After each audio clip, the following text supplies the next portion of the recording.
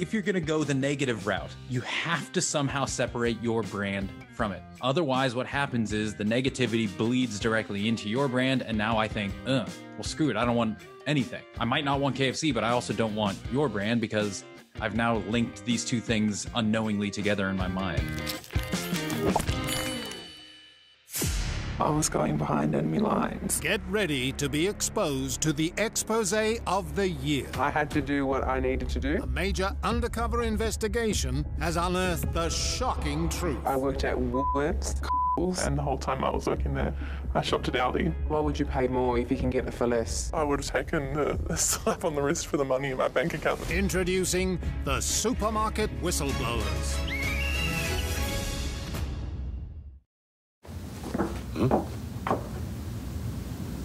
Did someone say MSG? MSG! Yeah, there's MSG in KFC and something called tripolyphosphate of sodium and silicon dioxide 551. Not 551. Some secret herbs and spices are secret for a reason. But Grill'd healthy fried chicken burgers have no hidden additives. Aldi and Grill'd, as you've seen, both of them are trying to bring down the competitors. You know, so they're they're clearly the challenger brand. They want to take more market share and they're taking pot shots at the competition. So we know this because politicians like to deploy the same strategy, try and make the other person look bad. Now, Aldi, I really dislike this ad. Really dislike this ad. I really dislike it. Interesting. Intro. Go. Give me. Give me more. Oh, look at you! You're going at another angle, but I didn't like this ad at all. Like it was, a, it was a real piss take on 60 Minutes. And if you're looking at 60 Minutes, it's usually very negative. Like they're literally the dirtiest of dirty stories they're trying to create and over dramatize them to to try and get some audience. And you know there is an audience that follow it, but it's usually very negative in terms of what the story is. There's hardly ever good news on 60 Minutes. So the bad news is obvious like but what they did there i think was too clever. You know so the mm-hmm. concept was really this. I work at woolworths i work at coles and i shop at aldi. That was the narrative they were trying to tell. You know going like i actually work at woolworths but i shop at aldi because i want great prices so i like the thinking behind it the challenge is it wasn't that overt, or for me, it wasn't that overt. It was kind of subtle. And yes, they changed the tone of it to feel like it was a bit of a t- piss take on 60 Minutes. The challenge I couldn't get over was that it was so negative, and at the end of it, it was branded Aldi. And I just felt like Aldi's work previously is amazing. It's clever, it's funny, and it's on point and it's good, different. It's always branded good, different, and it's great, positive, uplifting stuff. This wasn't. And I just couldn't help for feeling that they've anchored their brand to what is quite a negative story. Like, and it's, do you really recall that that's a Coles, Woolworths? Don't want to shop there because I actually shop at at Aldi. Bit too clever. Yeah. Or are you anchoring your brand to what is quite a negative story? So hmm. that's why I dislike this ad. And I'd be keen to get your thoughts because I think you're going to come at it from a different direction. Now, for me, I'd go Grill'd was definitely the winner because no. oh, here we go. But I have a caveat. Okay. I Okay. Hit me. So it was really overt that it was KFC that were trying to take down. Like Mhm. it was KFC and they were trying to take them down in the big way. I thought it was quite catchy, the song. Like it was, I'm not sure what the actual song is, but I've heard it somewhere before. And it was like MSG. Do you know what I mean? Yeah. and you really related KFC is now anchored to MSG. Do you know? So now I'm think, saying KFC, MSG, not what you want, and whatever 151 is, but it doesn't sound good, and polyglyceride, whatever it was, but it sounded really negative. It was anchored. Where I thought they got it wrong, they used the same mnemonic for MSG and KFC in their Grill'd branding. So I've got this negative association with MSG now on Grill'd branding. And I'm like, Fuck no, because now I'm seeing Grill'd branding song and thinking MSG. So Mhm. again, I think the branding of that was out. If I was to play it again, I would go just hero KFC as MSG, bad, dark, horrible, everything else. And then I'd nearly not even worry about branding it well in Grill'd. Be very subtle, really small logo, and just you want the customer just to think negatively around KFC if that's your objective. So that's interesting. I think collectively you've you've you've hit a point, which is if you're going to go the negative route, you have to somehow separate your brand from it. Otherwise, what happens is the negativity bleeds directly into your brand, and now I think, uh, well, screw it. I don't want anything. I might not want KFC, but I also don't want your brand because I've now linked these two things unknowingly together in my mind. Correct. So that's uh, mudslinging is incredibly difficult to do and get right, and that's why I think a lot of people won't do it. Like, you, best way to do it, go back to the Coke Pepsi. Pepsi doesn't say Coke sucks. They do a blind taste test. Pepsi wins, and they say, "See, Pepsi is better." So that's the difference between saying KFC sucks and saying Grill'd is better than KFC. So there's a, there's a slight difference. You're slinging mud by showing how much superior, how more superior you are to the other product. In the end, I don't. Okay, I don't think either of these ads was spectacular. I'm gonna go the Aldi one works a little bit better for me. Here's here's my thinking on this. You're spot on on the 60 minutes, right? So anytime I watch a 60 minute ad come on, those things on for Big Brother 60 minutes, I turn the channel. I couldn't care less. That stuff annoys the living daylights out of me. But the people who don't turn the channel are exactly the type of people who uh, Aldi is probably trying to target. And and I don't mean it like this is this is this is going to sound horrible, but Aldi is a cheaper supermarket brand. So most of their initial customer share, large customer share is going to be the cheaper end of the market to get people not shopping at Coles who would really benefit from shopping at Aldi and go, oh, dang, this is really easy and nice for me. Those people, I think, really would resonate with that 60 minutes thing. And as soon as they hear the dark music and see the thing, my guess is their attention is like, yeah, what's on 60 minutes tonight? And they're so into that because that's their jam that when it comes out being a joke and it's for Aldi, they might go, that's wonderful. I'm going to Aldi. So, like, I think they were really specifically targeting a market who I think would have responded to that style of ad.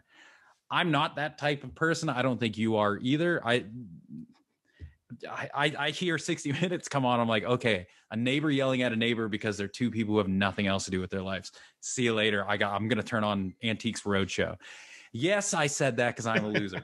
but in terms of just layout, it was more clear it was an Aldi ad. It was more clear they were slinging mud and they tried to have fun with it by having the people blow the whistle and then ending in a bright light.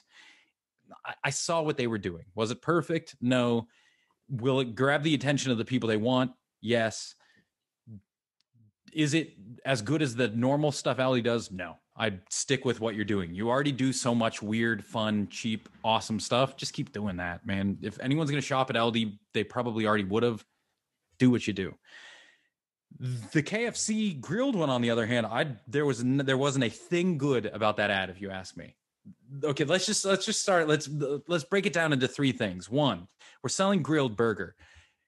The only time you see that Grill'd burger is in that dude's hands. It looks nasty from frame one to the last frame. That burger does not look tasty. It looks like a smushed, like they used one burger for the entire film shoot, and the takes they used were like later in the day, so the thing was getting white and shriveled. Did you notice that? That the burger did not look appetizing in the least. But at the start of the frame. Yeah, well, the kid, the guy, the dude's sitting there on the couch with the burger. It's supposed yeah? to be a KFC burger. Oh, I thought that was a Grill'd burger. No, it's supposed to be a KFC burger. That's why it's like, why are you eating KFC that's got MSG? What? The, that is the stupidest commercial I've ever seen. If you're gonna poke fun at KFC, show the chicken. Don't show a bun. I wouldn't know that KFC served a burger from Man on the Moon because in the KFC ads they have the ones with the stick in the bucket. Oh, that was a so you've actually brought up a really valid point because where they had a flaw in that setup was KFC wasn't well branded. It was sitting on the like the the coffee table in front of him, but it was very small.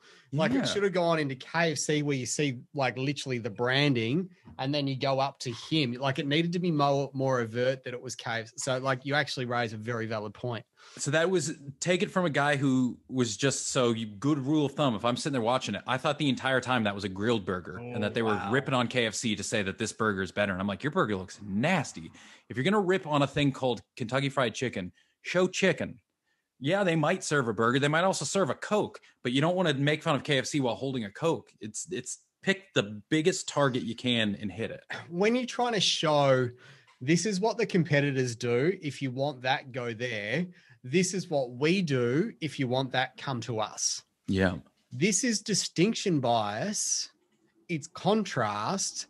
The best way to do that is going, here is coffee pods at Woolworths. It costs you $7.50. Here's coffee pods at Aldi. It's $2.80. Mhm. Like, same message, but very simple. You can't f- it up. Yeah. Like, it's right in your face. It's not too clever. Same with burger. You go on the left is a burger from KFC. It has MSG, it has this, it has that. On the right is a burger from Grill'd. It's this, it's that, it's that. You Make can't f- it up. That's and that's it. Then you don't have to even pot shot. All you're doing is you're making it. You're just disti- distinction bias. You've gone from slinging mud to just pure distinction bias, and say, you know, I know, we all know from this distinction, one is better than the other. But I never had to bad talk. I didn't have to be clever. I just said, here, we got this, they got this. Make a choice. Because the challenge with advertising, the numbers are quite staggering. I think the latest numbers at 63% of ads are misattributed to a different brand. Yeah. So now you go, even if I'm trying to brand my ad well, people are confusing it or anchoring it to another brand. And we've seen it before. Like there was a, quite a famous one, I think we've spoken about it with ING, where another bank was pushing out this product, but ING was just harvesting it because they did, they confused the brand and the anchor. And now Yeah. you're slinging mud, which are negative, and you've got your brand at the end of it. Whoa, the last thing I want to do is anchor a negative message to my brand. I wouldn't even go there down this strategy. That's why I like I don't like it. And that's why I think both of these are a great example of I wouldn't endorse it. Um, because I think there's a much better strategy of getting the same outcome that you're after. And if you if in, in you're spot on too, because like take take this one. Anyone who thinks about it, and that's a huge number, sixty three percent of misattribution. That's a massive number. That that should get people's heads going. Oh, we got to focus on this. But this one, no one will misattribute it to KFC. But the point is, is sixty three percent of people will most likely attribute it to nothing. They will remember it as the anti KFC ad, but the mm-hmm. pro nothing ad like I, I don't I, I don't know because there wasn't that clear distinct contrast i'm not 100% sure that the this is a Grill'd ad is really gonna if had you not written Grill'd in the email you sent me i'm not 100% sure i would have known the hell i was But even there, so what you may do if you're effective with this strategy with MSG is you'll impact KFC. So there might be, you know, 2%, 5%, whatever it may be that just go second guess their KFC. Where else can I go? That cool, you've taken some share, but I haven't owned that they're going to go to Grill'd. Like that's what they want to try and do. They want to bring someone else down and us up. But if you're going to do it, use distinction bias. It is clean. It is pure, like just facts, data, evidence. Like if you do have a point of difference, it's not clever though. And I think that's where creatives want to go clever. V. if you're going to do this and there's there's two more things you want to remember if you're going to do this. One is what's called the transience effect is if i'm forced to hold something in mind while you're making the comparison chances are i'm not going to be able to do that. So when you make a comparison they they have to be close within space and they have to be close within time. Otherwise there is no comparison. There's just memory and me trying to remember something later. So in this ins- instance all the kfc stuff happens at the front end then their burger comes in at the end. By that point, we have the transience effect. I've never actually compared your burger to their burger. I've compared your burger to my memory of what the heck I was just talking about, and who knows what that may or may not have been. But if you bring them congruent in time, so I see them at the same time, now you're not relying at all on my memory, and it's a straight comparator effect. So we see this a lot in class. Like, think about it educationally, where I give you instructions on a task and I say, just everyone sit. I'm going to give you a set of instructions. Now go do it. And half the kids won't, they'll get through instruction one, they'll be like, what the hell are we supposed to do now? Because there's a transience effect. I, I took what I needed you to be thinking and what I need you to be doing, and I separated them in time, and now you couldn't do the two. So, so if you're going to do a comparison, one, bring them together. And two, if you're going to do a comparison, compare apples to apples. Like if Aldi says, go back to your example, and Aldi's like, coffee pods cost seven ninety nine at Woolworths, but bananas cost ninety nine cents here at Aldi. That's not a fucking comparison. if you're going to KFC, chances are you want chicken. If you're now comparing KFC chicken to a burger, dude, whoever is going to KFC doesn't want a burger. Otherwise, they wouldn't have been going to KFC. And if they are going getting a burger at KFC, it's going to be a chicken burger, which is not what Grill'd does. They do hamburgers. Well, that's You've what now they're trying compared apples and oranges. They're trying to introduce their chicken burger range, like, and I think this was the launch. of it. Look, the Oh, fact that you can't recall any of it suggested. Oh, I'll no. retract the fact that Dr. J can't recall that KFC was actually the burger that was meant to look shit on screen, and it was supposed to be anchored to MSG, and he didn't even know it was a Grill'd ad. No, Look, that was weird. that was a weird commercial. I, I Let- didn't like it. I did not. Like first time ever. I'm just going to go. They're both a fail. There are no winners here, only losers. And I got that's an umbrella. An umbrella. If you're going to be doing mudslinging, that's just not your probably strongest. If you do it, there's a way I'm sure to do it, but it's not safe. Well, well, it's interesting. Like if I go to Weapons of Influence, the 12 principles that influence, persuade human behavior that marketing and advertisers use, mudslinging never features. yeah. No, Like, it- it making doesn't. fun of somebody else probably not the best way to make yourself look good. No, that that whole principle hinges on distinction bias, which is comparator. So like we, we don't even focus on it. It was never recommended. So it's just interesting. It's kind of why I just thought it, it might be interesting to discuss the the mudslinging